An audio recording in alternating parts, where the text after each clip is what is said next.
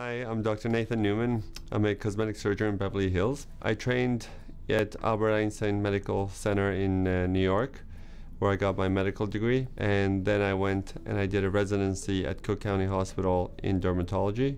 From there, I went to Riverside and did a fellowship in cosmetic surgery. I read an article about how when you take out the fat and leave it in a syringe, you can see the separation between the fat and the water, and in between it, there is a stem cell rich layer there. We then took these stem cells concentrated them, started treating people, and we got amazing results. The quality of the skin in the patients we treated was getting improved within a matter of weeks.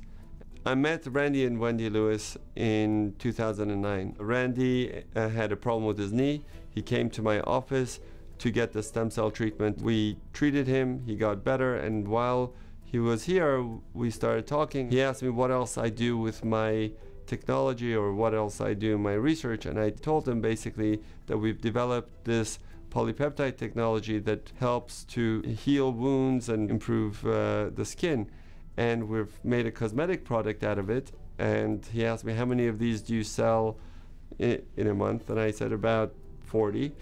And he looked at me and goes, How would you like to sell 40,000? I said, Sure. Randy and Wendy went home. Two days later, they call me back and they say, Okay, we've made a company called Jeunesse and we're going to sell your product. And the rest is history.